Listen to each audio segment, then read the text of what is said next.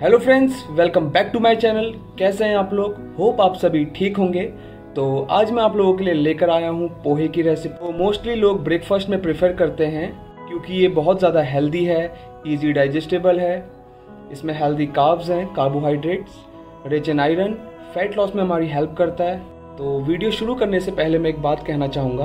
आप प्लीज़ इस वीडियो को लास्ट तक देखिए और अगर आपने मेरे चैनल को सब्सक्राइब नहीं किया है तो मेरे चैनल को सब्सक्राइब कीजिए और बेल आइकन को दबाना ना भूलें। तो आइए शुरू करते हैं।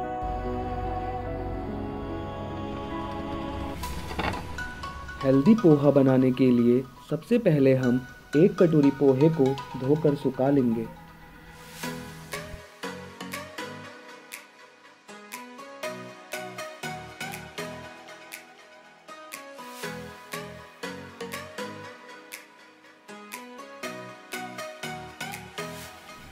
देखिए, अब इसमें बिल्कुल भी पानी नहीं है हम इसमें स्वादानुसार नमक डालेंगे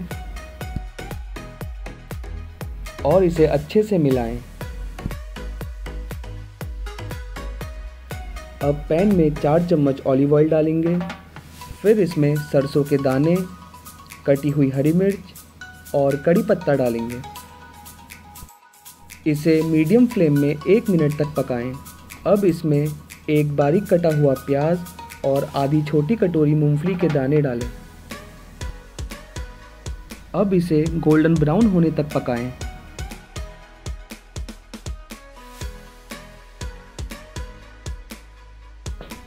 अब इसमें पनीर डालकर इसे अच्छे से भून लें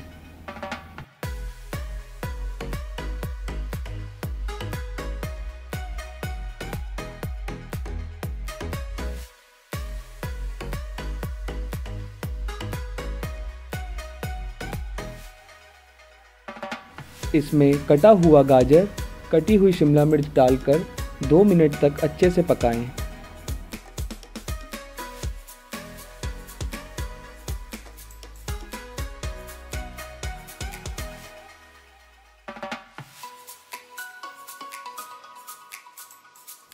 देखिए, अब ये अच्छे से पक चुका है अब हम इसमें पोहा डालेंगे अब पोहे को सब्जियों के साथ अच्छे से मिलाएँ और इसमें हल्दी ऐड करें।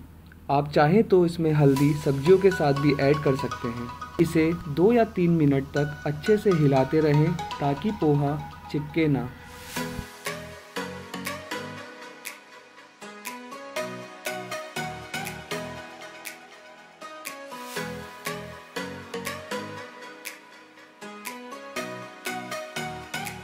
अब इसे एक बर्तन में खाली करके इसमें नींबू निचोड़ें और कटा हुआ बारीक धनिया डालें।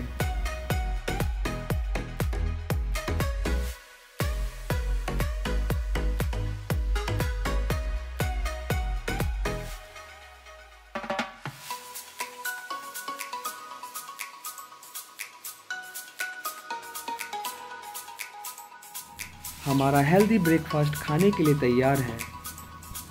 इंग्रेडिएंट्स की क्वांटिटी जानने के लिए आप डिस्क्रिप्शन में चेक कर सकते हैं। Hope you all like my video please like share and subscribe